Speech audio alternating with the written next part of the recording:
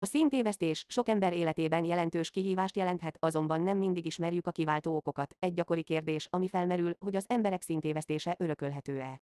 A rövid válasz igen, azonban nem olyan egyszerű.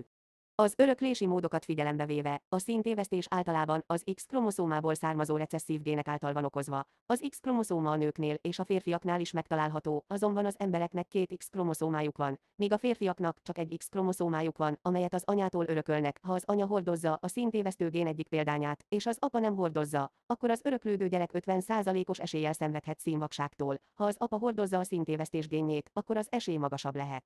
Azonban, csak az öröklési mód tanulmányozása nem elegendő ahhoz, hogy megjósoljuk, hogy ki szenvedhet a színes vakoktól. Az öröklési mintázat ugyanis nem minden esetben szabályos, és emellett számos egyéb tényező is szerepet játhat az egyének szintévesztésében, mint például a környezeti hatások vagy az egészségügyi állapot.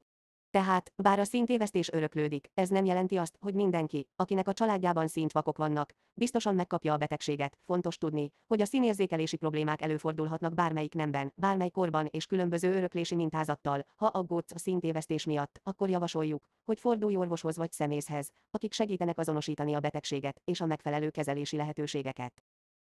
Dr. Express, a legszélesebb választékkal rendelkező csatorna. Nyomj egy lájkot, és iratkozz fel!